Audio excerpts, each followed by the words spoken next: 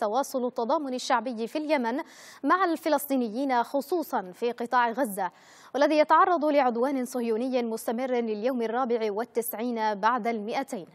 ففي تعز شهدت ساحة الحرية وسط المدينة وقفة عقب صلاة الجمعة جدد فيها المشاركون تضامنهم مع أهالي قطاع غزة إزاء ما يتعرضون له من إبادة جماعية تمارسها قوات الاحتلال الإسرائيلي. كما ندد المحتجون بالموقف الأمريكي الداعم لجرائم الاحتلال التي شملت الاستهداف المباشر للمدنيين بكافة أنواع الأسلحة.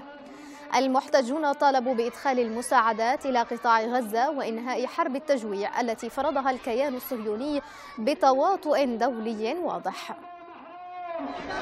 إننا نستشعر في تعز معاناتهم الشديدة. لا يمكن لأي مدينة أن تصمد كما صمدت غزة. غزة الآن تعبر عن كرامة هذا الوطن كرامة جميع الأوطان وليس وطننا فقط.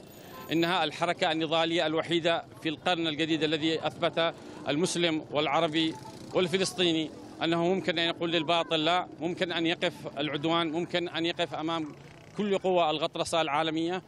لقد انقلبت الموازين الدنيوية وأصبحت موازين الإله سبحانه وتعالى في نصر هذه الفئة البسيطة التي نصرهم الله وسينتصرون بإذن الله. لقد أعجزوا العالم ولن يستطيع العالم بإمكانيته الكبيرة أن يقتلع هذه المقاومة التي تسمى مقاومه المقاومة الإسلامية حماس والجهاد وكافة الفصائل. فبارك الله فيهم ونصرهم الله ونحن معهم في كل وقت.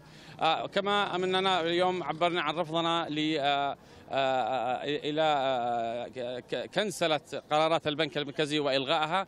إن إن احس شعبنا بنوع من من الحرية في سبيل محاصرة ميليشيا الحوثي إلا أن المجلس الرئاسي أثبت أنه لا يمثل هذا الشعب ولا يمثل هذا الوطن. المجلس الرئاسي اتخذ وسقطت عليه سقطت منه ورقة التوت. ف ولن يراجعوا أنفسهم إلا بق... ولن يراجع الشعب ولن يحس الشعب الحرية إلا بقيادة جديدة تمثل تطلعاته في التحرير من هذه الميليشيات الحوثية. من هنا من ساحة النضال ساحة الحرية وقفنا دعما لقضيتنا الأولى قضية فلسطين وغزة ضد الإبادة الجماعية الوحشية التي يقوم بها الصلف الصهيوني العالمي.